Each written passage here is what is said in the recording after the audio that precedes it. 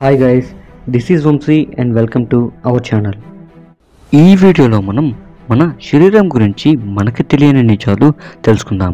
ఈ వీడియోలో నేను మనకి అసలు ఎందుకు ఎక్కిళ్ళు వస్తాయి ఎలా వస్తాయి వాటిని ఎలా ఆపాలి అనేది చెప్పబోతున్నాను. మన చేతులలో ఏ వేలికి ఎక్కువ పవర్ ఉంటుందో చెప్తాను. మన శరీరంలో కాల్షియం ఎక్కడ అతి ఎక్కువగా ఉంటుందో చెప్తాను. మన బాడీపై స్కిన్ అనేది నెలకి ఒకసారి మారుతుందా? లేక మారదా? ఇది నిజమా అనేది చెప్తాను. అండ్ ఈ వీడియోలో ఇలాంటి చాలా ఇంట్రెస్టింగ్ ఫ్యాక్ట్స్ ఉన్నాయి. సో వీడియోని చివరి దాకా చూడండి. చాలా ఇంట్రెస్టింగ్గా అండ్ ఇన్ఫర్మేటివ్గా ఉంటుంది. ఐ హోప్ మీకు ఈ వీడియో నచ్చుతుంది అని భావిస్తున్నాను. సో లేట్ చేయకుండా let's get in welcome to the unknown and interesting facts about our human body in Telugu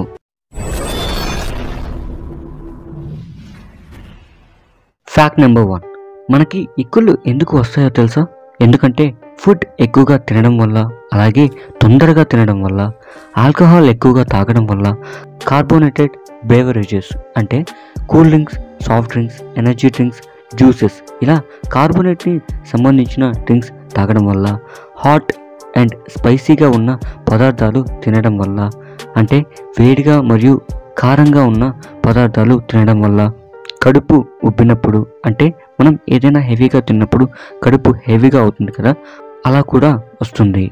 అలాగే మన స్టమక్లో గ్యాస్ స్టోర్ అయినా కూడా ఇలా వస్తుంది. నెర్వస్గా ఫీల్ అయినా కూడా వస్తుంది. అలాగే సడన్గా ఎగ్జైట్ అయినా కూడా వస్తాయి. అంటే భయంగా మరియు అతి ఉత్సాహంగా ఉన్నా కూడా వస్తాయి.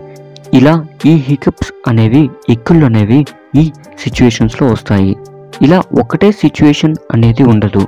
ఏదైతే మీ బాడీలోని డయాఫ్రామ్ని ఇబ్బంది పెడుతుందో అప్పుడు ఈ హీకప్స్ స్టార్ట్ అవుతాయి. మెయిన్ రీజన్ మాత్రం హెవీగా తినడం వల్ల వస్తాయి. ఇవి వచ్చినా కూడా భయపడాల్సిన అవసరం లేదు. ఎందుకంటే ఇవి వచ్చిన కొన్ని నిమిషాలకే ఫుడ్ అనేది అడ్జస్ట్ అయ్యి ఆగిపోతాయి. ఒకవేళ ఆగలేదు అంటే మాత్రం గంటలు రోజులు ఇలానే వస్తూనే ఉన్నాయి అంటే మాత్రం ఖచ్చితంగా మీరు డాక్టర్ దగ్గరికి వెళ్ళాలి. ఎందుకంటే మన బాడీలో ఏదైనా ప్రాబ్లం ఉన్నప్పుడు కూడా ఇలాంటి సిగ్నల్స్ అనేవి వస్తాయి. ఇప్పుడు వీటిని ఎలా ఆపాలి అనేది చూద్దాం. ఒకటి పేపర్ బ్యాగ్ తీసుకొని అందులో నుండి గాలి పీల్చుకోవడం. రెండు పడుకొని మీ మోకాలని మీ చెస్ట్ దగ్గరకు రానివ్వండి. ఇలా ఒక ఫైవ్ టైమ్స్ చేయండి. స్లోగా అండ్ సింపుల్గా చేయండి. మూడు చల్లని నీళ్ళని సిప్ చేయండి. అంటే తొందరగా తాగకుండా చిన్నగా టీ తాగుతాం కదా అలా తాగండి. నాలుగు లెమన్ అయినా వినెగర్ అయినా తినండి. ఐదు షుగర్ చక్కెరని మింగేయండి. ఆరు మీరు గాలి పీల్చుకోవడం ఆపేయండి. అంటే నేను చెప్పేది గాలి పీల్చుకోవడం కొంతసేపు వరకు మాత్రమే ఆపండి. అలా కాకుండా పూర్తిగా గాలిని పీల్చుకోకుండా ఆపేశారు అంటే తర్వాత మళ్ళీ పీల్చుకోవడానికి మనం ఉండం. కాబట్టి మీరు ఎంతసేపు అయితే గాలిని పీల్చుకోకుండా ఆపగలుగుతారో అంతసేపు ఆ గాలిని ఆపండి. తర్వాత కూడా గాలిని సడన్గా స్పీడ్గా పీల్చుకోకుండా స్లోగా నిదానంగా పీల్చుకోండి. సో ఇలా వీటిలో ఏది చేసినా మీ ఎక్కిళ్ళు ఆగిపోతాయి. ఒకటితో ఆగలేదు అంటే ఇంకొకటి ట్రై చేయండి. అంతేకాని అన్నీ ఒకేసారి మాత్రం ట్రై చేయొద్దు. ఐ థింక్ మీకు ఎక్కులు ఎందుకు వస్తాయి? ఎలా వస్తాయి? ఎలా ఆపాలి?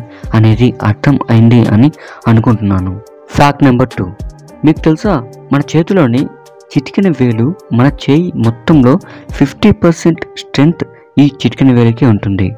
అంటే మన చేతులలో ఉండే అన్ని వేళ్ళ కంటే ఈ చిటికిన వేలకి స్ట్రెంగ్త్ ఎక్కువ పవర్ అనేది ఎక్కువ. ఎలా అంటే మీరే అబ్జర్వ్ చేయండి మనం ఏదైనా వస్తువుని మోయాలి అనుకుంటే మనకి ఈ చిటికిన వేలు లేకుండా ఆ వస్తువుని మోయడం చాలా కష్టంగా మారుతుంది. ఎందుకంటే చిటికిన వేలు లేకుండా చిన్న చిన్న వస్తువులని మోయగలం. కానీ పెద్ద పెద్ద వస్తువులని మోయాలి అంటే ఖచ్చితంగా చిటికిన వేలు సపోర్ట్ అయితే ఉండాలి. మీరే ఒకసారి అబ్జర్వ్ చేయండి మీకు అర్థమవుతుంది.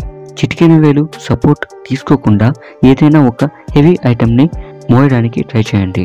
అప్పుడు చాలా కష్టంగా ఉంటుంది. ఎప్పుడైతే చిటికిన వేలు సపోర్ట్ మీరు తీసుకుంటారో అప్పుడు మనం చాలా ఈజీగా ఆ వస్తువుని మోయగలం. సో ఈ చిటికిన వేలుని పింకీ ఫింగర్ అని కూడా అంటారు. ఫ్యాక్ట్ నెంబర్ త్రీ ఈ భూమి మీద ఉండే జీవులలో చిన్ అంటే గడ్డం లేదా దవడ అని కూడా అంటారు. ఇది ఉండే ఏకైక జీవి మనిషి. కొడితే దవడ వాచిపోద్ది అని అంటారు కదా అది ఉండే ఏకైక జీవి మనిషి. ఫ్యాక్ట్ నెంబర్ ఫోర్ మన శరీరంలోని కాల్షియం కంటే కేవలం మన పంటిలోనే కాల్షియం ఎక్కువగా ఉంటుంది. ఎంత అంటే నైంటీ నైన్ పర్సెంట్ కాల్షియం అనేది కేవలం మన పంటిలోనే ఉంటుంది టీత్లోనే ఉంటుంది. మనం డైలీ టీవీలో యాడ్స్ చూస్తాం కదా అందులో కోల్గేట్ యాడ్ వస్తుంది కదా మీ కోల్గేట్లో ఉప్పు ఉందా? మీ టీత్లో కాల్షియం ఉందా అని చెప్తారు కదా అది ఇదే. సో మన బాడీలో అతి ఎక్కువ కాదు ఆల్మోస్ట్ కాల్షియం ఉండేది మన టీత్లోనే మిగిలిన వన్ పర్సెంట్ అనేది మన బాడీ బోన్స్లో ఉంటుంది. ఫ్యాక్ట్ నెంబర్ ఫైవ్ మన చేతులలో ఉండే బోన్స్ ఆల్మోస్ట్ అన్నీ కూడా బ్రోకెన్గానే ఉంటాయి. అంటే ఆల్మోస్ట్ అన్నీ కూడా విరిగిపోయినట్టే ఉంటాయి. ఒక పర్ఫెక్ట్ షేప్లో మాడ్యులేషన్లో ఉండవు. ఫ్యాక్ట్ నెంబర్ సిక్స్ మన చెవులలో వచ్చే ఇయర్ వ్యాక్స్ ఒక రకమైన స్వెట్ అండ్ ఇది మన చెవులని ప్రొటెక్ట్ చేయడానికి యూజ్ అవుతుంది. ఎలా అంటే డస్ట్ వెళ్ళకుండా యూజ్ అవుతుంది. అండ్ నాది ఒక పర్సనల్ సజెషన్ అదేంటంటే మీరు మీ చెవులని క్లీన్ చేసుకునేటప్పుడు స్టీల్ ఐటమ్స్ని యూజ్ చేయొద్దు. లైక్ పిన్నీస్ అండ్ మార్కెట్లో ఒకటి దొరుకుతుంది. ఇయర్ వ్యాక్స్ క్లీనర్ అనే ఒక స్టీల్ ఐటెం దాన్ని కూడా యూజ్ చేయొద్దు.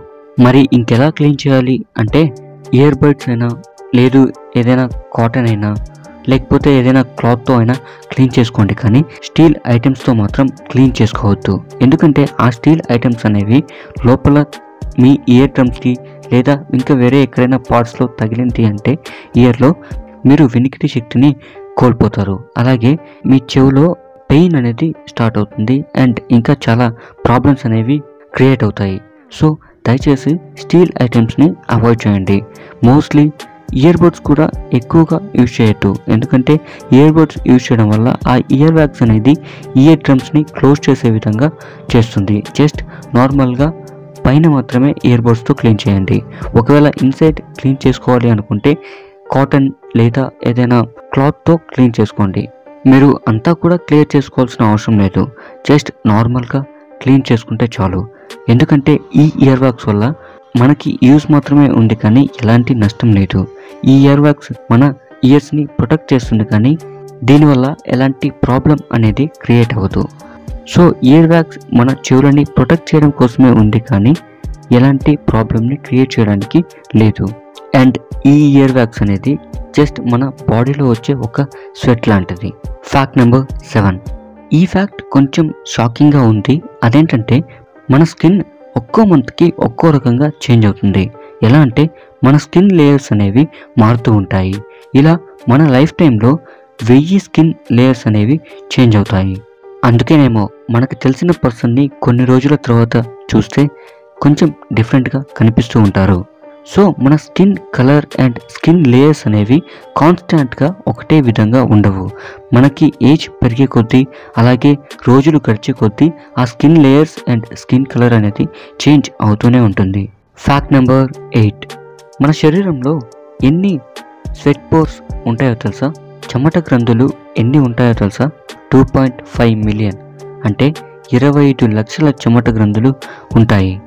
ఈ చెమట గ్రంథులు ఏంటి అంటే వీటిలో నుంచే మనం ఏదైనా వర్క్ చేస్తున్నప్పుడు స్వెట్ అనేది వస్తుంది. స్వెట్ పోర్స్ అంటే చెమట గ్రంథులు. Fact number nine. మీకు తెలుసా? మన కన్నురెప్పలను ఒక్క నిమిషానికి ఇరవై సార్లు ఆర్పుతాం.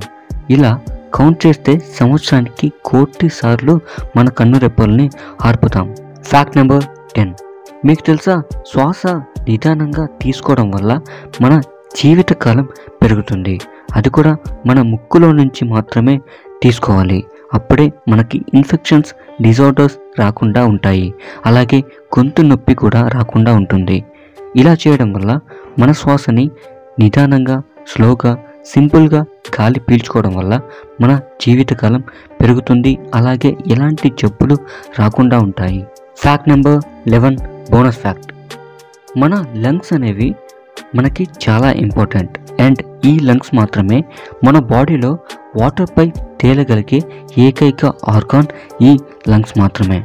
ఎలా అంటే మన బాడీలో ఉండే ప్రతి ఒక్క పార్ట్ కూడా నీళ్ళలో వేయగానే మునిగిపోతుంది. బట్ ఈ లంగ్స్ ఊపిరితిత్తులు మాత్రమే నీళ్ళలో వేయగానే మునగకుండా నీళ్ళపై తేలాడుతూ ఉంటుంది. సో ఇవి guys the unknown facts about our human body మన శరీరం గురించి మనకి తెలియని నిజాలు మీరు తెలుసుకున్నారు అని భావిస్తున్నాను. ఐ హోప్ మీకు ఈ వీడియో నచ్చింది అని అనుకుంటున్నాను. ఈ వీడియో కనుక మీకు నచ్చినట్లయితే లైక్ చేయండి షేర్ చేయండి మరియు ఈ వీడియోపై మీ ఒపీనియన్ని మాకు కమెంట్ చేయండి. అలానే మన ఛానల్ని సబ్స్క్రైబ్ చేసుకోండి. సబ్స్క్రైబ్ చేసుకోగానే పక్కన ఒక గంట వస్తుంది దాన్ని గట్టిగా కొట్టండి. ఎందుకంటే నోటిఫికేషన్ కోసం. మా నుండి అప్డేట్స్ కోసం ఫేస్బుక్ ఇన్స్టాగ్రామ్ ట్విట్టర్ లాంటి అఫీషియల్ సోషల్ మీడియా అకౌంట్స్లో మమ్మల్ని ఫాలో అవ్వండి. Thank you very much for watching. Love you all. Jai Hind.